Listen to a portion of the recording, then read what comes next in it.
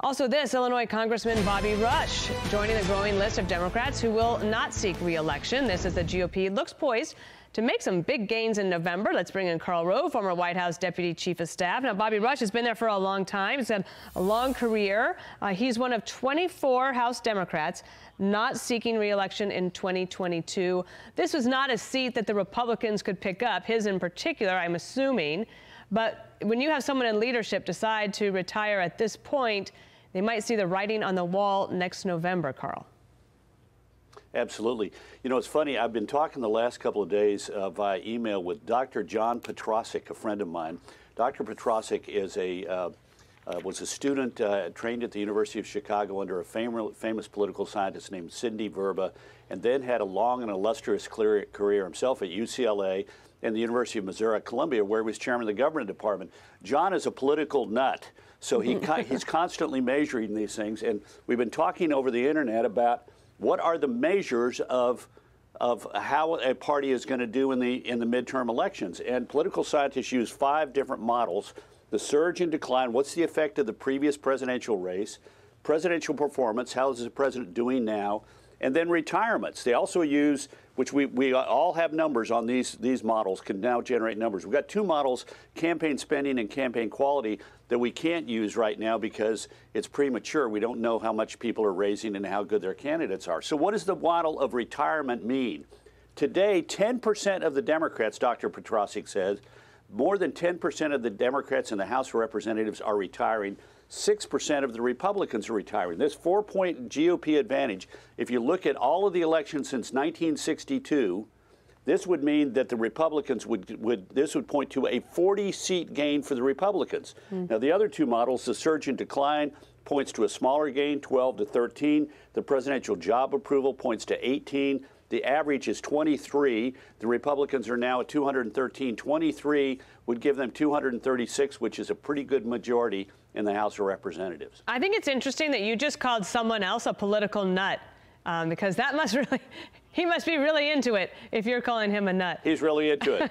exactly. Um, you know, the other speculation has been whether Speaker Pelosi will retire. And you had Ro Khanna, who is a progressive member, um, very civil, I would say, very genial kind of guy. But he said this about her.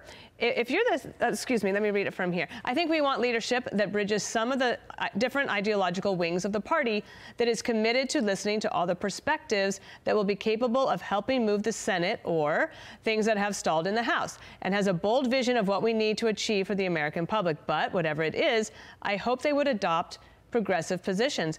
A question, Karl. I mean, don't you think Pelosi has been actually quite accommodating to the progressives? Oh, absolutely. She's been very much so. She's been a, she has always been sort of more liberal than the average House Democrat, but but she has been more uh, accommodating to the people to the left of her than I than I thought she would be. And, and look, let's be honest. The Democrats are going to lose the control of the House. Nancy Pelosi is not going to stick around. I assume she's going to run for reelection in the fall of 2022. But if the Democrats lose the House, like I believe they will, she's not going to want to stick around for two more years as as the an attempt to be the minority leader. So there is going to be a change in the leadership of the Democratic Party if they lose the House, as I believe they will. And Nancy Pelosi is going to retire. I mean, she's 80 some odd years old, and um, you know, she's been there a long time. She's had a great run, but she's not going to want to go back into the minority because, in all likelihood, it's going to be not just two years, but four years or six years before the Democrats have a chance to get back in the majority in the House. Well, and the other thing is, have you seen that there are some progressives who are actually calling already for President Biden to be primaried in 2024. They say he is deeply unpopular. You can see this in the Real Clear average approval rating over the past eight months and how it's gone down. Just look at that, Karl. Uh, and you know what it, go, what it means to go from the 50s to the 40s, and you start to go much lower as you see COVID this month, you know, inflation continuing, uh, kids the scrambling to be back in schools. You know, a lot of this will all lead into those decisions about whether to retire and when to get out before the Republicans take over. I, I, think you're absolutely right. And I think we've not seen the last of the Democratic retirements. We're likely to see more.